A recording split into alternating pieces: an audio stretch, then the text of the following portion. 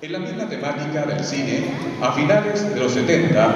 Richard Donner dirigió una exitosa versión cinematográfica del famoso Superman,